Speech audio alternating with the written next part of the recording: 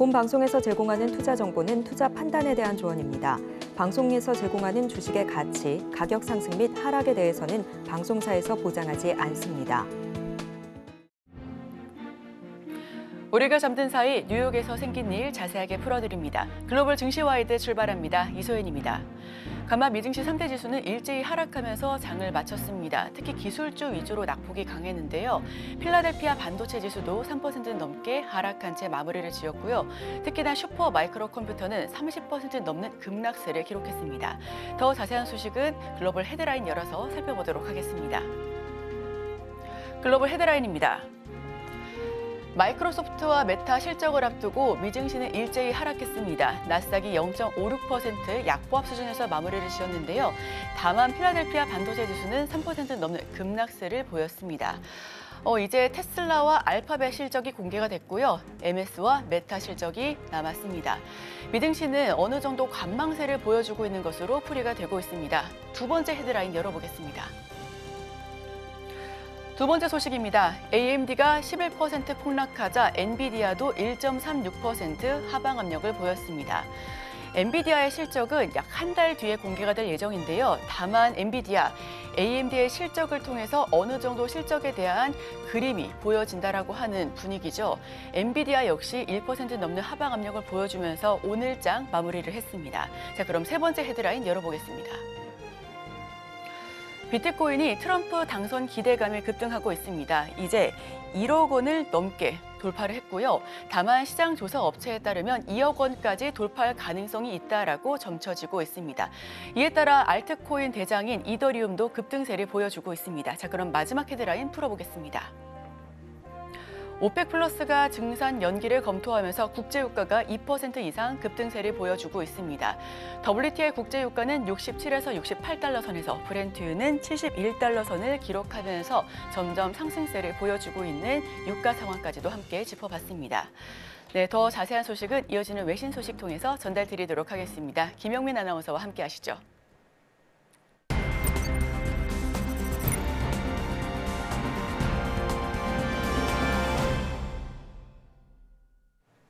아침에 있는 어젯밤 미증시 이야기 종목 브리핑 시작하겠습니다. 간밤 뉴욕 증시 3대 지수는 일제히 하락하는 모습이었습니다. 3대 지수 모두 장 후반으로 갈수록 약세를 보이는 모습이었는데요. 낙폭이 크지는 않았지만 다우가 0.22% 하락했고 S&P 500 지수는 0.33%, 나스닥은 0.56% 가장 큰 폭으로 빠지면서 마무리를 지었습니다. 마이크로소프트와 메타의 실적 발표를 앞두고 투자자들이 관망세를 취한 영향으로 풀이가 되는데요. 장 마감 직후 두 회사의 실적이 발표됐죠. 두 회사 모두 컨센서스를 상회하는 준수한 실적을 내놨습니다. 하지만 실적 발표 후에 시장의 반응은 좀 엇갈렸고요. 어, 두 회사 모두 이 시장의 움직임이 그렇게 크지는 않았습니다. 어, 브리핑 통해서 자세히 살펴보도록 하죠. 밤사이 발표된 미국의 3분기 GDP 성장률 속보치는 예상을 밑돌긴 했지만 그래도 여전히 미국 경기가 견조함을 보여줬고요. 민간 고용 지표도 안정적으로 나와줬습니다. 미 10년물 국채금리는 상승하는 모습을 보였습니다. 0.66% 오르면서 4.3% 선에 마무리를 지었고 필라델피아 반도체 지수가 큰 폭 하락했습니다. 전 거래일 마감 이후에 AMD의 실적이 발표된 후에 주가가 폭락했었는데 오늘 장에서는 이 여파인지 이 지수에 편입된 전 구성 종목이 모두 하락하면서 지수 전체로 봤을 때는 3.35%나 하락하는 모습을 보여줬습니다. WTI 2% 넘게 3% 가까이 급등하면서 배럴당 69달러 선에 마무리를 지었는데요. 미국의 원유 재고가 감소하고 또 오펙 플러스가 12월로 예정된 이 원유의 증산을 한 달 이상 연기할 수 있다라는 소식이 전해지면서 가격이 뛰는 모습이었습니다. 개별 종목들 위주로 살펴보면 M7 종목들 혼조세로 마감이 됐습니다. 먼저 애플 1.53%나 하락하면서 마무리가 됐는데요. 내일 있을 실적 발표를 앞두고 어, 시장은 기대감보다는 경계감을 조금 더 키워가는 모습이었습니다.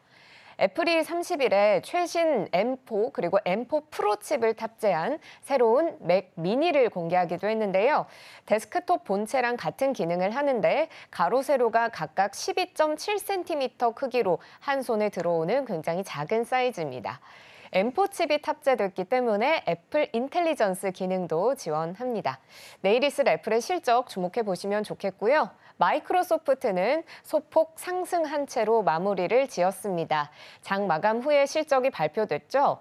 클라우드 부문에서 성장이 괜찮아서 준수한 실적을 내놨습니다. 매출 655억 9천만 달러, EPS 3.3달러인데요. LSEG 예측치인 매출 645억 1천만 달러와 EPS 3.1달러를 모두 상회합니다. 실적 발표 후에서 애프터마켓 때 한 1% 정도의 상승률을 기록하다가 지금은 그 낙폭을 좀 줄여가면서 약보합권에서 움직이고 있다는 점 살펴보시면 좋겠습니다. 엔비디아 1.36% 하락하면서 140달러대 선이 붕괴되는 모습이었습니다. AMD의 실적 발표 후에 반도체 주가 전체적으로 지금 밀렸고 또 AI 수혜주로 불렸던 슈퍼 마이크로 컴퓨터의 회계법인이 이 회사를 신뢰할 수 없다라면서 사임하자 AI 관련주인 엔비디아도 같이 영향을 받고 있는 것으로 풀이가 됩니다. 알파벳은 3% 가까운 상승폭을 기록했는데요. 어제 좋은 실적을 보여줬고 그 여파로 오늘장에서도 좋은 흐름 이어가는 모습입니다. 아마존 내일 실적 발표를 앞두고 있습니다. 1%의 상승 흐름을 보여줬습니다.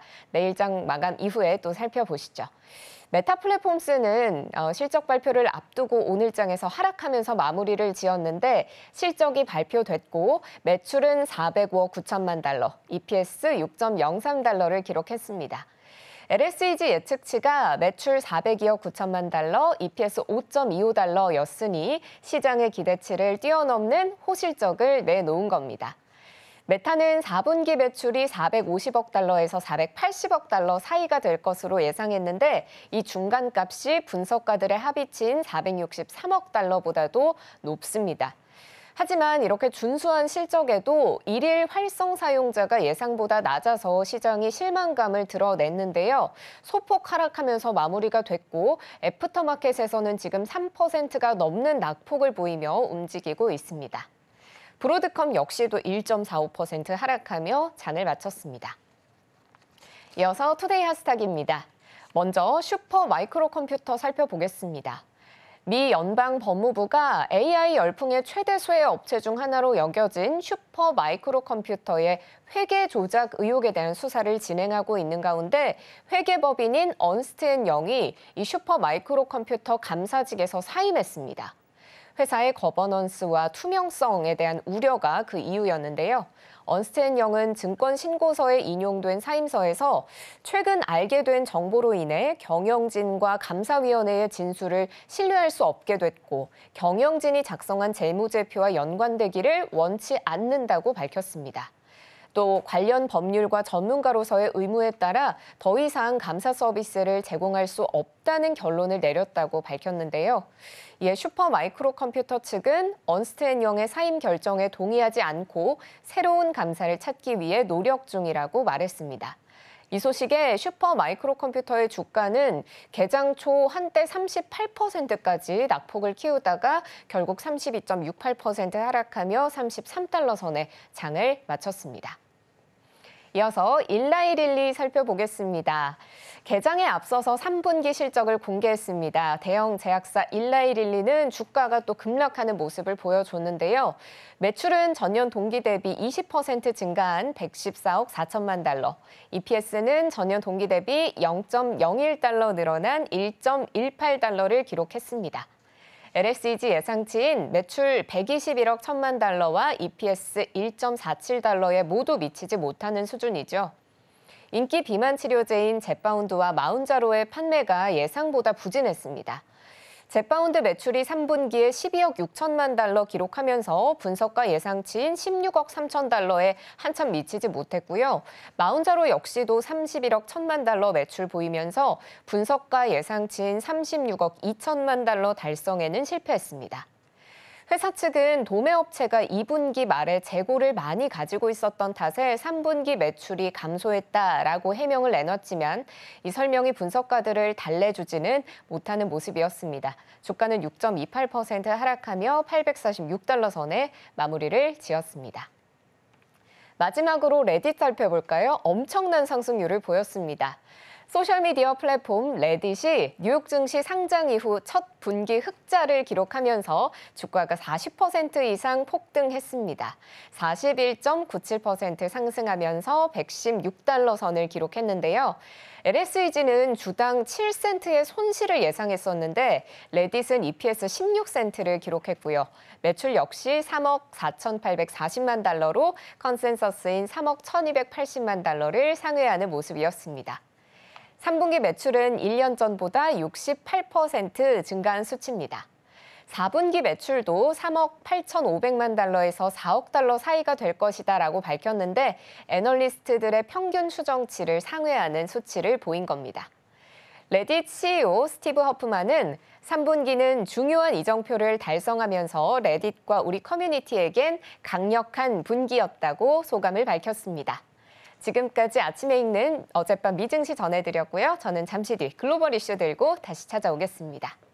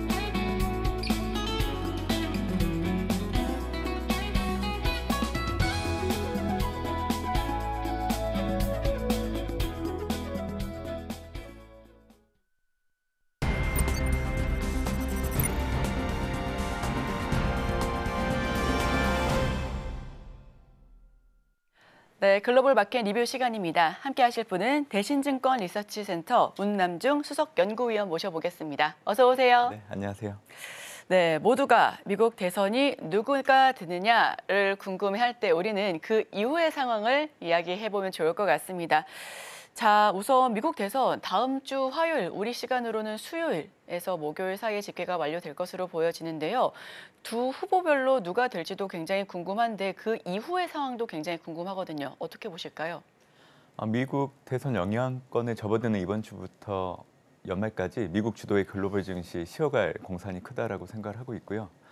현재 트럼프 트레이드, 금리 상승, 그리고 달러 강세, 주가 하락이라는 부분들이 금융시장에 연출되고 있는데 본질적으로 보면 미국 대선 결과를 지켜보자는 그 경계의 심이 지금 증시에 유입되고 있는 상황이기 때문에 아무래도 11월 달 접어들게 되면 11월 대선 결과를 확인하고 나서 글로벌 증시의 변동성은 가장 큰 시기가 될 걸로 좀 보고 있고 어, 아이러니하게도 대선 결과를 확인하고 나면 11월 FMC가 또 예정되어 있는데 최근 파월 연준 의장 발언을 염두에 둔다고 하면 25pp 금리 인하 정도는 할 걸로 예상을 하고 있기 때문에 어, 변동성은 점진적으로 좀 줄어들 여지는 있다라고 생각합니다. 그래서 어, 큰 틀에서 얘기해드리면 올해 11월, 12월 어, 미국 대선 결과 확인하고 나서 증시 변동성이 가장 큰 시기이긴 하지만 어, 점진적으로 12월이 가까워질수록 어, 변동성은 좀 줄어들 여지는 있다라고 생각을 하고 있기 때문에 어, 사실 올해보다는 내년도 증시가 훨씬 더 좋을 걸로 좀 전망을 하고 있는 상황이라서 어, 지금까지 주도하고 있는 투자 대상들,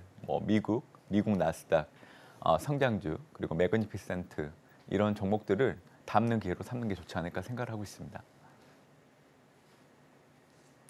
네, 오히려 미국 중심의 글로벌 증시 변동성이 커질 것이다라는 우려와는 다르게 그 대선 직후에는 그 변동성이 점차적으로 줄어들 것으로 보여지는데요. 특히나 그 이후에는 빅테크 중심으로 다시 한번 눈여겨봐도 좋겠다라는 이야기까지 말씀해 주셨습니다. 자, 대선 이후에도 바로 영향이 끝나는 게 아니죠. 당분간은 지속될 것으로 보여지는데요. 대선 이후에 체크 포인트가 있다면 어떤 것들이 있을까요? 일단 트럼프 트레이드에 대한 시장 오해는 분명히 좀 풀어야 된다 생각을 하고 있습니다. 어, 트럼프가 당선된다는 가정하에서 놓고 본다고 하더라도 집권 2년차 이전까지는 어, 경기 부양 그리고 통화 정책을 강조할 걸로 좀 보고 있기 때문에 어, 물가 금리 올라가지 않고요 달러도 강세를 보이지 않을 가능성이 상당히 높습니다.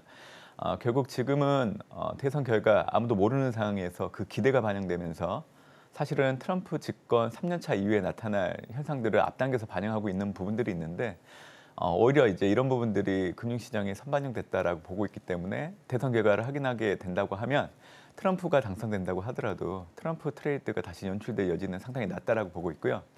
트럼프 트레이드 관련해서 제가 오해가 있다라고 얘기해드리는 이유는 집권 2년 차 이전까지는 과거 트럼프 일기 행정부에서 한 것처럼 감세, 어, 경기 부양에 초점을 둘 겁니다. 어, 감세는 재원이 부족하기 때문에 결국 대규모 국채 발행을 할 수밖에 없는데 어, 저금리 통화를 선호할 수밖에 없는 상황이고요. 또 무역 수지 개선을 위해서는 달러 약세가 선호될 수밖에 없는 부분들. 그리고 지금 트럼프는 연준의 정책 금리가 상당히 높다고 비판을 하고 있는 상황이기 때문에 집권 2년차 이전까지는 어, 정책 금리를 상당히 낮추려고 노력을 할 겁니다. 어, 지금 내년도 연준이 제시하고 있는 최종 정책 금리의 중위값 평균이 3.4입니다. 결국 내년에도 100bp 정도 인하한다고 그렇게 시장은 예상을 하고 있는데 금리 인하는 이미 시작됐기 때문에 range 하단이 더 중요하다라고 생각하고 있습니다. range 하단이 2.9이기 때문에 내년 경제지표 결과에 따라서는 150bp 정도까지도 금리 인하를 할 수 있다라는 부분들을 어, 얘기를 해주고 있는 상황이기 때문에 아마 시장이 예상하는 것보다는 내년도 연준의 금리 인하 폭은 상당폭 커질 여지는 있다라고 보고 있기 때문에 어, 이런 상황이라고 하면 사실 트럼프 트레이드라는 부분들은 시장의 오해에 그치지 않을까라고 생각을 하고 있습니다. 네, 트럼프 당선의 시나리오를 먼저 짚어봤습니다. 우선 물가와 달러 그리고 금리가 더욱더 안정화될 수 있을 것이다라는 말씀을 해주셨습니다. 오히려 그 상승폭은 제한적일 것이다라는 이야기까지도 말씀해 주셨는데요. 이에 대한 우려나 기대가 지금은 선 반영된 것으로 보여지고 있습니다. 자, 추가적으로 내년에 100bp 더 인하할 가능성도 점쳐지고 있으니까요. 이 부분도 함께 참고해 주시길 바랍니다. 자, 대선 이후 미국의 중국 때리기 본격화될 것으로 보여지고 있습니다. 우선 천문학적인 관세 역시도 계속해서 이름이 올려지고 있죠. 어떤 후보가 당선이 된다고 하더라도 그 강도의 차이만 있을 뿐 반드시 관세 문제는 거론이 될 것으로 보여지고 있는데요. 미국의 중국 압박, 이 대선 후보별 시나리오, 글로벌 시장 전체에 어떤 영향을 미칠지도 여쭤보도록 하겠습니다. 뭐 해리스, 트럼프 공통적으로 음, 중국 견제라는 부분들은 달라지진 않아요. 다만 강도 차이를 놓고 본다고 하면 트럼프 당선 시 더 압박할 수 있는 요인들은 더 크다라고 보고 있고요. 아마 투자자분들이 가장 우려하시는 분들이 결국에는 어, 2차 전지, 전기차 이런 어, 업종들의 피해들이 불가피하지 않을까라고 생각을 하고 있는데 어, IRA는 물론 이 바이든 행정부에서 어, 정책적으로 좀 꺼내든 카드이긴 하지만 어, 사실 어, 이 2차 전지, 전기차 관련된 어, 법안 위반은 트럼프 행정부터 시작됐던 사항이기 때문에 트럼프가 당선된다고 하더라도 어, 녹색 성장과 관련된 이런 전기차 2차 전지 부분들의 피해들은 없다라고 그렇게 좀 보고 있습니다. 그 이유는 결국 이 미국 내 산업의 이상 그리고 중국과 기술 경쟁을 해야 되기 때문에 이걸 감안한다고 하면 어느 후보가 당선된다고 하더라도 어, 녹색 성장과 관련된 이런 업종들의 피해들은 없다라고 그렇게 얘기를 해드리고 싶고요. 지금은 전반적인 시장 분위기가 누가 당선되는지 여부에만 좀 초점이 맞춰져 있는데 사실 그게 중요한 건 아닙니다. 과거 팬데믹이 발생하고 나서는 바이든 대통령이 당선되고 나서 Blue Wave를 달성을 했는데 이는 이제 위기를 극복하기 위해서 힘을 실어주기 위해서 Blue Wave를 달성할 수 있었던 겁니다. 근데 지금은 아, 전일에도 이제 미국의 3분기 소포치가 전분기 대비 연율로 2.8% 정도 나왔는데 아, 미국의 잠재 성장률 1.8%를 기준으로 놓고 온다고 하면 이를 1.8% 포인트 정도 어, 상회하고 있는 상황이기 때문에 아, 미국 경제는 견고한 흐름들이 지금까지 계속 되고 있는 상황입니다. 그렇기 때문에 어, 사실 그 누가 되는지 여부보다는 상원과 하원 아, 누가 어느 당이 가지고 갈지가 더 중요할 걸로 좀 보고 있고 트럼프가 당선된다고 하더라도 지금 시장에서 걱정하고 있는 아, 중국 관세, 부가 이런 부분들은 한꺼번에 진행되기는 어려워요. 점진적으로 부과될 여지가 있기 때문에 이게 영향을 미치는 시기는 어, 집권 3년 차 이후 파급력을 가질 걸로 좀 보고 있기 때문에 그래서 지금 너무 시장에서는 이 미국 대선 결과를 놓고 어, 너무 학대해서 가는 부분들이 있지 않나라는 생각을 좀 해보고 있기 때문에 오히려 저는 대선 결과를 확인하고 나면 지금 나타나고 있는 이염 자산을 선호하는 그 심리들이 좀 어, 어그러질 수 있는 부분들은 있다라고 얘기해드리는 거고요. 중요한 거는 AI 반도체 그리고 내년에는 양자 컴퓨터라는 부분들이 부각될 걸로 좀 보고 있는데 이런 전력 산업 부분에서는 어, 사실 트럼프든 해리스든 어, 정책적으로 계속 수혜를 줄 수 있는 법안들을 계속 가져갈 걸로 좀 보고 있기 때문에 그렇게 크게 우려할 여지는 없다라고 생각을 하고 있습니다. 네, 2차 전지와 전기차, IRA 축소와 관련에 대한 우려감은 어, 어느 정도 불식시킬 수가 있을 것으로 보여집니다. 트럼프 당선 이후에도 녹색 성장과 관련된 산업들 타격이 좀 제한적일 것으로 없을 것으로 보여지고 있는데요. 자, 이번 주 글로벌 빅테크 실적을 기반으로 살펴봤을 때 AI는 건재하다라는 분석들이 나오고 있습니다. 우선은 M7 기업 가운데 테슬라 그리고 알파벳 좋은 성적 내면서 상승 곡선을 그려주고 있고요. 그 이후에는 MS와 함께 메타 역시 실적을 대기하고 있습니다. 자, AI 이런저런 이야기들이 오가고는 있지만 여전히 좋게 봐야 한다라는 입장이 굉장히 우세한 상황 속에서 그 배경에 대해서도 설명을 해주시면 좋을 것 같아요. 음, 아마 지금 투자자분들은 인공지능 하면 우선적으로 떠오르는 기업이 엔비디아, 또 네. 엔비디아가 생산하고 있는 GPU가 서버용으로 많이 공급이 되고 있는데 지금 이 단계는 아, AI 서비스를 구현하는 단계를 놓고 본다고 하면 학습용입니다. 그리고 그 인프라를 확충하는 단계이기 때문에 인프라 확충이 끝난다고 하면 사실 엔비디아의 GPU 판매량은 지금보다는 좀 줄어들 여지는 있고요. 이 다음 단계 어, 출원용으로 넘어가게 되면 이제는 서버양이 아니라 웨지 디바이스용 어, 스마트폰과 자율주행차 관련된 어, 반도체 수요가 상당히 늘어날 걸로 좀 보고 있습니다. 어, CPU와 GPU는 1차 반도 좋고요. 학습용에서 출원용으로 넘어가는 단계에서는 2차 반도체, 3차 반도체 수요가 많이 늘어나게 되는데 어, 2차 반도체 대표적인 게 ASIC 그리고 이를 소폭 수정한 제품이 FPGA 그리고 3세대 반도체가 아, 핀과 누르모픽 정도 되는 상황입니다. 어, 결국 음, 인공지능 관련된 부분들을 놓고 봤을 때 이 AI 반도체 수요는 앞으로도 계속 늘어날 걸로 좀 보고 있는데요. 올해 같은 경우에도 추정액 대비 증가율을 놓고 온다고 하면 지난해 대비 33% 증가할 걸로 예상이 되고 있고 내년 같은 경우에도 29% 정도는 증가할 걸로 좀 보고 있기 때문에 그래서 음, 올해 연말 전까지 좀 쉬어가는 구간에서 어, 역발상 차원에서 어, 투자 대상을 선택을 한다고 하면 어, 인공지능 그 중에서도 미국 AI 반도체 관련된 종목들에 대해서는 관심을 가져야 된다는 얘기를 좀 드리고 있는 상황입니다. 결국 여러분들이 생각하는 단계보다는 앞으로 좀 펼쳐질 단계들이 시장 규모를 놓고 봤을 때 더 커질 걸로 좀 보고 있기 때문에 학습용에서 추론용으로 넘어가고 서버용에서 edge device용으로 어, AI 서비스 구현의 플랫폼이 바뀌게 된다고 하면 지금 여러분들이 관심을 가지고 있는 반도체 수요는 훨씬 더 많이 늘어날 걸로 좀 보고 있기 때문에 이 부분을 염두에 두시면 좋을 것 같고요. 어, 엔비디아의 차세대 GPU가 블랙웰인데 블랙웰 다음 단계가 루빈입니다. 루빈 같은 경우에는 블랙웰보다 HBM 탑재량이 용량이 9배 정도 더 늘어나거든요. 그러니까 얼마 전에 모건 스탠리가 어, 반도체 업황에 peak out을 거론하면서 그 이유로 제시한 게 HBM 공급 과잉에 대한 부분들을 언급을 했었는데 어, 엔비디아 어, 루빈이라는 제품에 들어가는 HBM 용량이 늘어나는 걸 감안한다고 하면 HBM 공급 과잉이란 부분들은 잘못됐다라고 해석을 하셔도 됩니다. 결국 어, 인공지능, AI 반도체 관련된 종목들에 대해서는 내년에도 좀 관심을 가지시면 좋지 않을까 생각하고 있습니다. 네, 내년에도 관심을 가지면 좋겠다라는 말씀을 해주셨는데 앞서서 AMD 같은 경우에는 실적이 좀 아쉽게 나왔습니다. 가이던스도 마찬가지인데요. 다만 엔비디아의 실적을 두고 봤을 때 AMD의 실적이 미리 보기판이다라는 이야기가 굉장히 많이 나오고 있기 때문에 엔비디아 약 한 달 뒤에 실적을 발표할 예정인데 사실 엔비디아 같은 경우는 2분기에 실적이 나쁘지는 않았는데 눈높이에 맞추지 못했다라는 부분에 의해서 하방 압력을 좀 받았잖아요. 3분기 엔비디아 실적은 어떻게 나타날까요?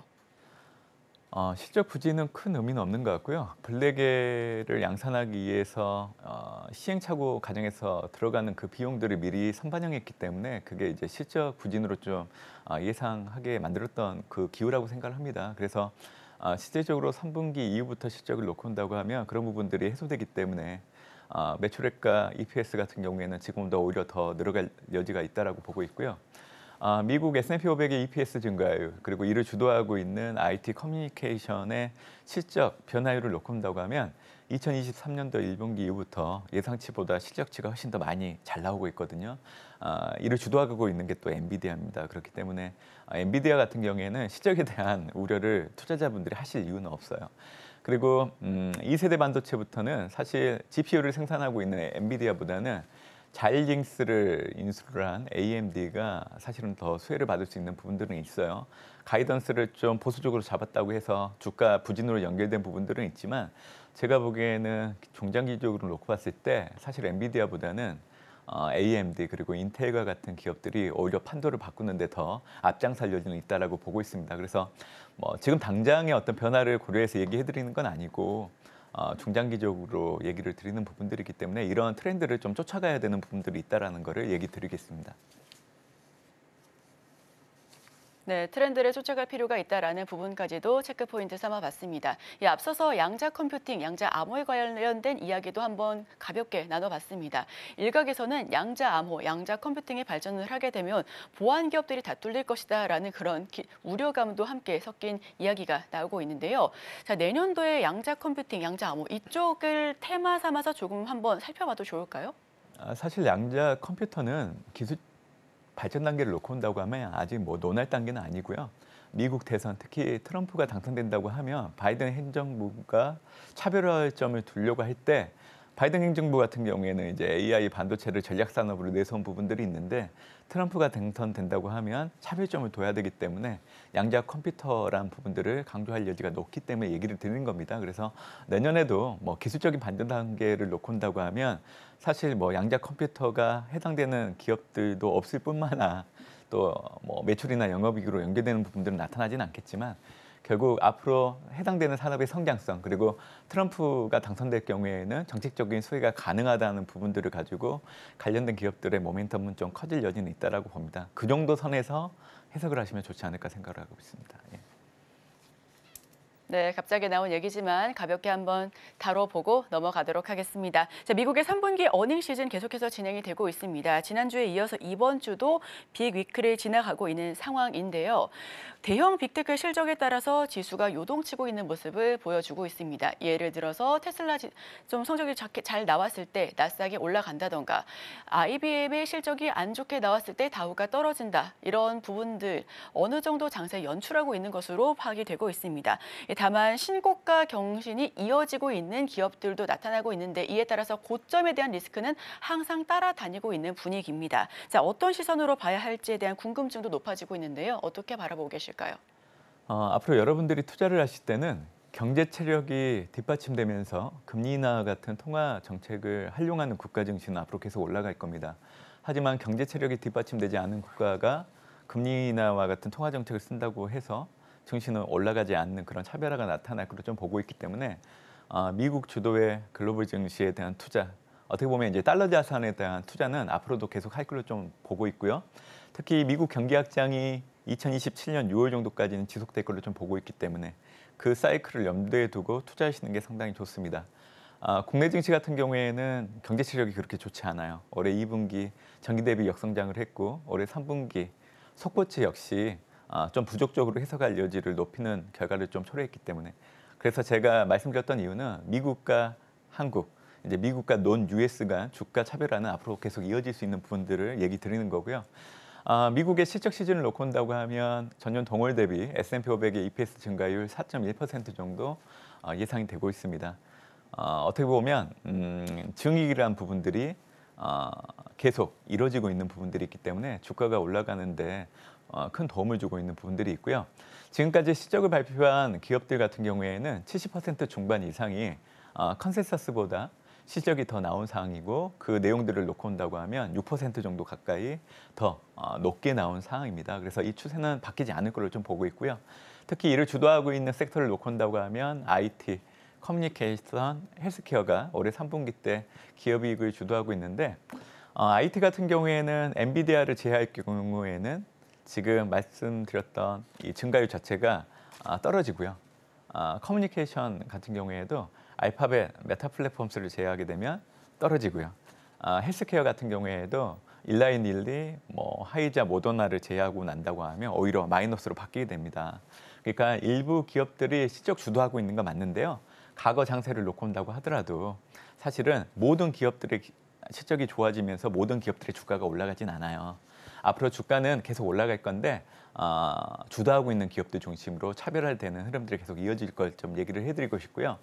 어, 제가 이제 연말까지는 좀 투자 심리가 좋아지지 않을 걸로 좀 보고 있는데요. 이런 상황에서는 지금 실적이 아무리 잘 나온다고 하더라도 해석하는 게 좀 많이 달라질 겁니다. 왜냐하면 그 내용을 놓고 온다고 하면 S&P 500의 EPS 증가율 3분기가 아, 전년과 비교했을 때 9.7% 증가한다고 얘기는 해드렸지만 5년 평균 10%, 10년 평균 8.5%와 비교를 해보면 이를 하회하고 있고 또 전분기, 2분기와 비교를 해보면 어, 이익 증가율이 떨어지거든요. 그래서 이 두 가지를 좀 부정적으로 해석할 여지는 있기 때문에 오히려 이제 11월 달에 변동성을 일으킬 수 있는 요인은 될 수 있다라고 얘기를 드리고 싶습니다.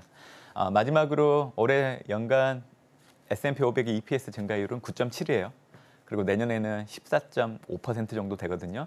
그러니까 두 배 정도 가까이 기업이익이 증가하는 걸 놓고 온다고 하면 S&P 500 지수는 지금 현재 5,900선 어, 아래에서 좀 움직이고 있지만 내년 같은 경우에는 S&P 500 지수가 6,400 이상 올라갈 여지도 있다라는 겁니다. 그래서 앞으로도 뭐 주가가 많이 올랐다는 걸 염두에 두고 해석하시기보다는 추가적으로 더 올라갈 여지가 기업 실적, 어, 경기 확장을 염두에 두고 이뤄질 수 있다라는 부분들에 중점을 두시면 좋지 않을까 생각을 하고 있습니다.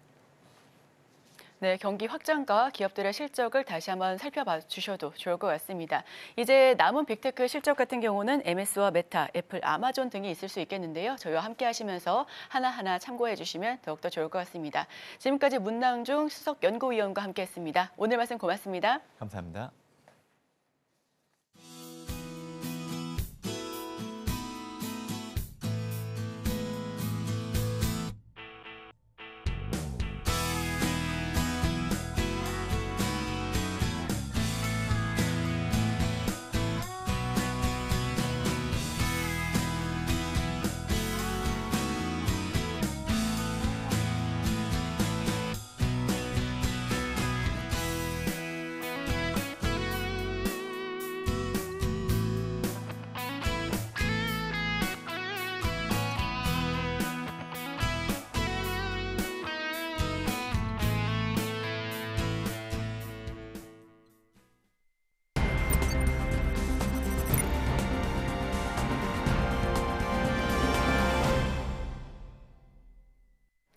오늘 아침 빼놓을 수 없는 글로벌 이슈 쉽게 읽어드립니다. 아침에 읽는 어젯밤 미증시 이야기 어떤 이슈들이 있었는지 함께 살펴보겠습니다. 첫 번째 소식입니다. 미국의 3분기 GDP 성장률 속보치가 발표됐습니다. 전 분기 대비 2.8% 증가했는데요. 예상치인 3%를 밑도는 수준이자 지난 분기 성장률 3%에도 미치지 못합니다. 그러나 2.8%라는 수치는 여전히 탄탄한 성장세인데요. 이번 GDP 발표로 미국 경제의 no landing 전망에 힘이 실리고 있습니다. 이번 경제 성장은 탄탄한 소비가 뒷받침됐는데요.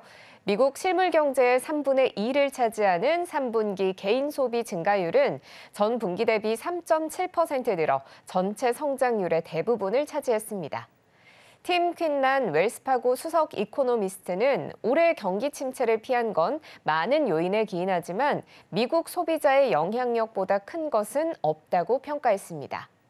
여기에 더해 수출과 정부의 국방 지출 증가도 실질 GDP 개선에 기여했습니다.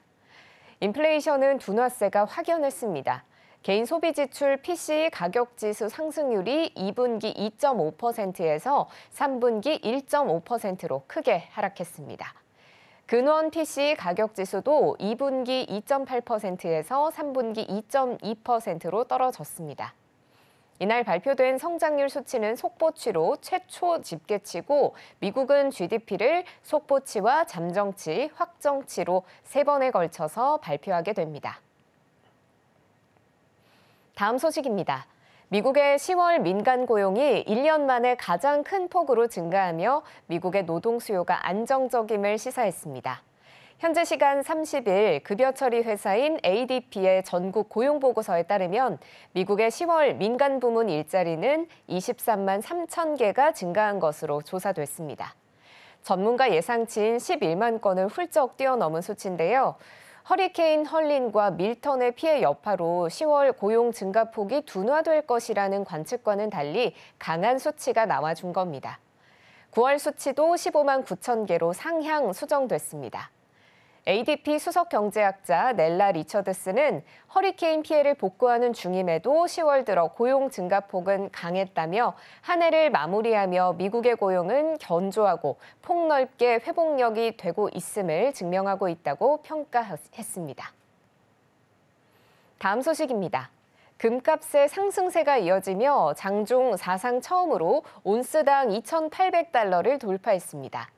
CNBC에 따르면 현지 시간 30일 오전 2시 41분 코맥스에서 12월 금 선물 가격은 장중 한때 2,800.2달러를 터치하며 사상 처음으로 2,800달러를 돌파했습니다. 금값은 앞서 지난 17일 사상 처음으로 2,700달러를 넘어서며 오름세를 거듭하고 있는데요. 연일 최고치를 경신하고 있는 금값은 올해 들어서만 34% 이상 급등했습니다. 이는 미 대선이 6일 앞으로 다가온 상황에서 두 후보의 팽팽한 판세에 시장의 불확실성이 커진 영향으로 풀이됩니다. 다음 소식입니다. 유럽연합이 중국 전기차의 최고 45.3%에 달하는 고율 관세 부과를 시작했습니다. 이유는 현지 시간 30일 0시부터 중국에서 EU로 수출되는 전기차 관세를 기존 일반 관세율 10%에서 7.8%에서 35.3%포인트의 추가 관세를 부과해 모두 17.8%에서 45.3%의 관세로 인상했는데요. 하지만 중국은 이를 받아들이지 못한다는 입장입니다. 이번 관세폭은 업체별 혹은 EU 조사 협조 여부에 따라서 차등이 있었습니다. 가장 높은 관세를 내야 하는 업체는 상하이 자동차 및 조사에 협조하지 않은 업체들입니다. 중국은 시행 첫날부터 강력 반발하는 모습이었는데요. 중국 상무부는 이날 대변인 명의 성명에서 이유를 WTO 분쟁 해결 절차에 따라 제소했다고 밝혔습니다. 그러면서 중국은 계속해서 필요한 모든 조처를 해 중국 기업의 정당한 권익을 단호하게 수호할 것이라고 강조했습니다. 이번 조치는 무역 분쟁을 촉발할 것으로 보이는데요. 로이터 통신은 이날 상무부가 지난 10일 자동차 제조업체들과 연 비공개 회의에서 관세 인상을 지지한 EU 회원국에 대해 대규모 투자를 중단하라고 지시했다고 보도했습니다. 이미 중국은 지난 6월에는 EU산 돼지고기 반덤핑 조사를 8월엔 유제품에 대한 반보조금 조사에 착수했죠. 또 이달 초에는 EU산 브랜디에 대한 임시 반덤핑 관세를 부과하기 시작했습니다. 중국산 전기차의 미국 수출이 사실상 가로막힌 상황이라 그나마 협상의 여지를 열어둔 EU를 공략할 필요가 있다고 판단하는 것으로 풀이됩니다. 다음 소식입니다. 폭스바겐 그룹의 올해 3분기 영업이익이 급감하고 영업이익률은 코로나19 팬데믹 이후 최저치로 떨어졌다는 소식입니다. 폭스바겐은 현재 시간 30일 3분기 영업이익이 전년 동기 대비 42%나 줄어든 28억 6천만 유로를 기록했다고 발표했습니다.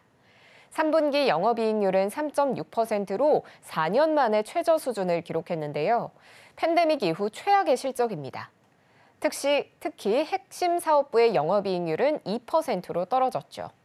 아르노 안틀리츠 폭스바겐 CFO는 성명을 내고 이는 상당한 비용 절감과 효율성 향상이 시급히 필요하다는 점을 강조한다고 말했습니다.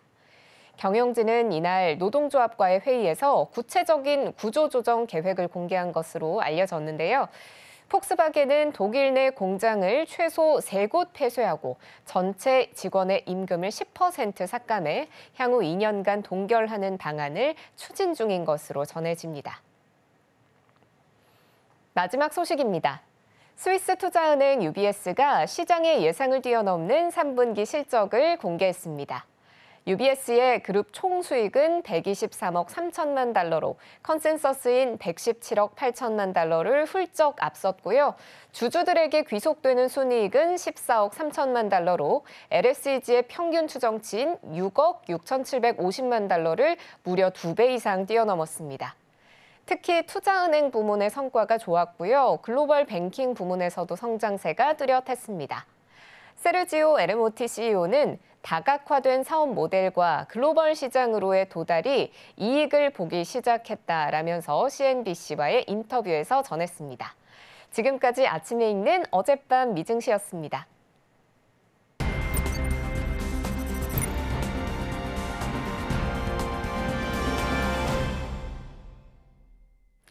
네, 투자하실 때 참고하시면 좋을 리포트 소개해 드립니다. 와이드 리포트 시작합니다.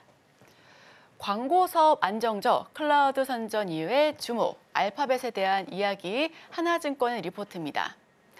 자, 구글의 모회사 알파벳 3분기 실적 시장 전망치 상회했다. 호실적 클라우드가 이끌었다. 이런 기사들 밤사이 굉장히 많이 보셨을 것 같습니다. 구글의 모회사 알파벳 올해 3분기 earning surprise를 기록한 건데요. AI 수요 확대로 매출이 큰 폭으로 늘어난 클라우드 부문이 실적을 견인했다라고 보고 있습니다.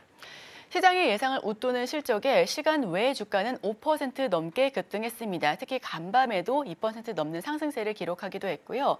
구글의 매출과 이익 모두 견고한 증가세를 보이면서 AI에 대한 막대한 투자가 수익으로 연결되지 않을 수 있다는 AI 거품론도 잠재울 수 있을 것으로 보여지고 있습니다. 알파벳 지난 3분기 매출이 전년 동기 대비 15% 늘어난 882억 7천만 달러를 기록했다라고 밝혔습니다. 이는 시장 조사 업체 LSEG가 집계한 월가 예상치 평균을 훨씬 웃돈 수치로 기록이 되고 있고요. 주당 순이익도 2.12달러로 시장 전망치를 웃돌아 32%를 기록한 영업이익률 역시 시장 예상치를 넘겼습니다. 매출의 가장 큰 부문을 차지하고 있는 광고 부문은 전년 동기 대비 10.4% 늘어난 658억 5천만 달러를 기록했습니다. 특히 지난 2분기 시장 전망치를 밑돌아서 시장의 실망감을 키웠던 유튜브 광고 매출도 3분기에는 89억 2천만 달러로 시장 전망치를 훨씬 웃돌았고요. 다만 광고 매출의 증가율은 10.4%로 2분기에 비해서는 소폭 하락했다라고도 추가적으로 참고해 주시면 좋겠습니다. 최근 56억 달러 규모의 투자 유치에 성공한 자율주행차 업체 웨이모가 포함된 기타 부문 매출도 3억 8,800만 달러로 전년 대비 30.6% 늘어난 수치를 기록하고 있습니다. 실적을 끌어올린 핵심 사업부는 바로 클라우드 부문이었습니다. 이 데이터를 저장하고 서비스를 제공하고 있는 부분인데요. IaaS와 PaaS, SaaS 이렇게 세 가지로 나누고 있고요. 3분기 구글 클라우드 매출은 113억 5천만 달러로 전년 동기 대비 34.9% 늘어난 수치를 기록하고 있습니다. 구글은 글로벌 시장 점유율에서 만년 3위로 아마존과 마이크로소프트에 비해서 크게 밀리고는 있지만 AI 수요의 폭발적인 증가로 주요 기업의 데이터 확보 경쟁이 치열해지면서 핵심 수입원으로 자리매김하고 있다는 평가입니다. 순다르 피차이 알파벳 CEO의 경우에는 AI에 대한 장기적인 집중과 투자가 결실을 보고 있다라면서 인프라부터 서비스까지 모두 아우르는 풀스택 시스템 구축으로 수십억 명이 사용하며 선순환 효과를 만들고 있다라고 설명하기도 했습니다. 구글은 비용 절감도 강조하고 있는데요.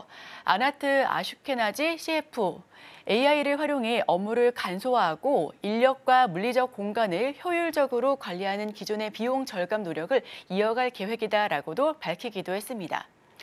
전문가들은 알파벳이 AI에 대한 막대한 투자를 수익으로 전환하고 있다라고 긍정적으로 평가하고 있습니다.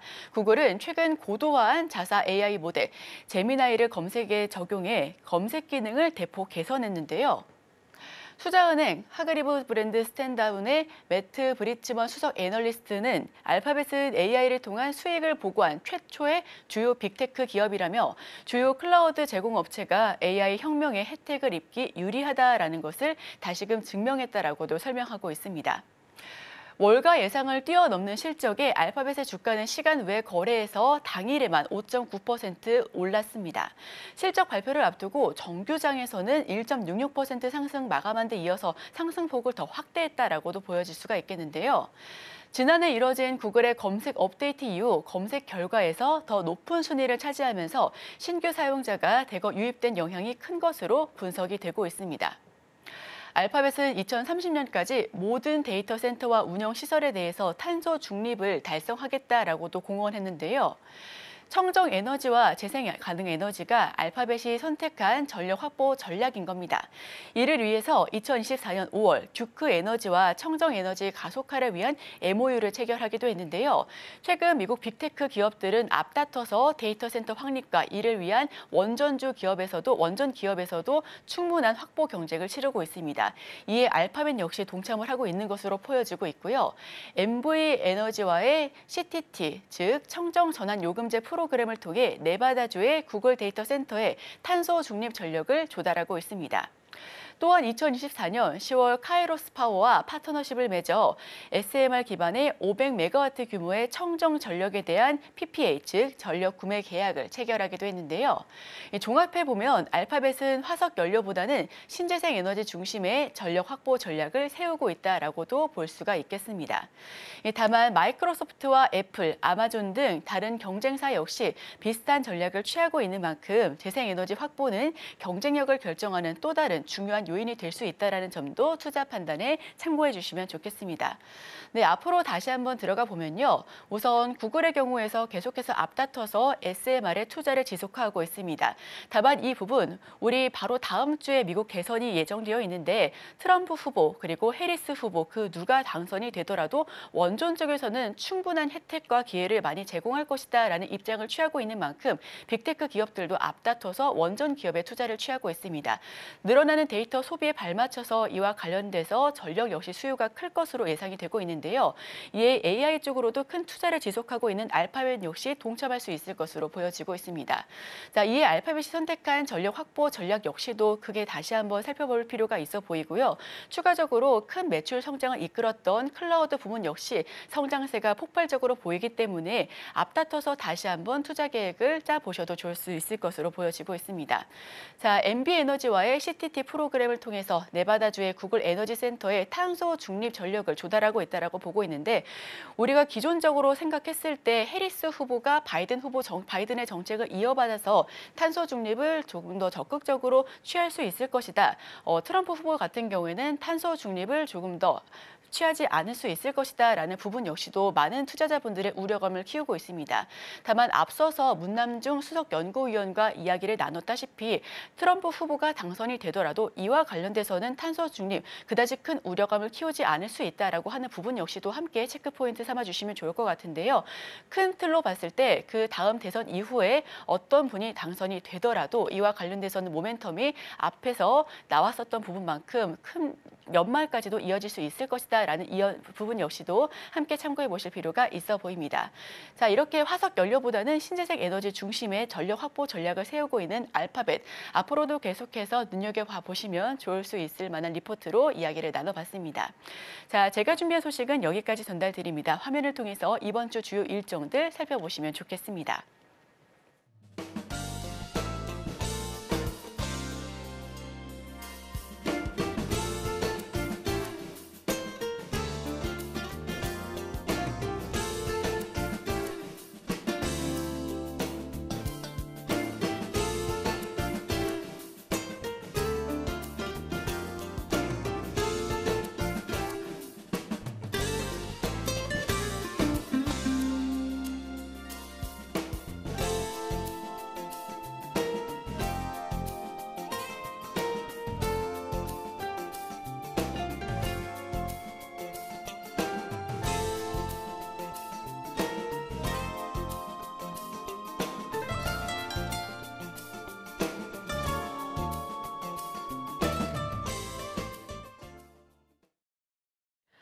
저희가 준비한 소식은 여기까지 전해드립니다. 바로 이어서 출발 증시 와이드가 방송되니까요. 더 다양한 insight 가져가시길 바랍니다.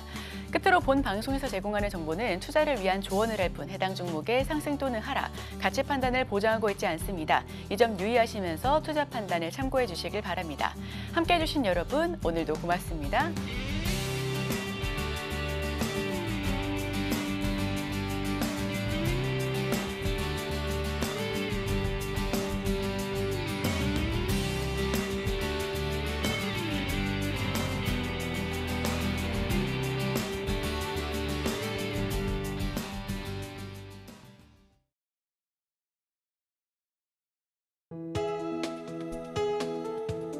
방송에서 제공하는 투자 정보는 투자 판단에 대한 조언입니다. 방송에서 제공하는 주식의 가치, 가격 상승 및 하락에 대해서는 방송사에서 보장하지 않습니다.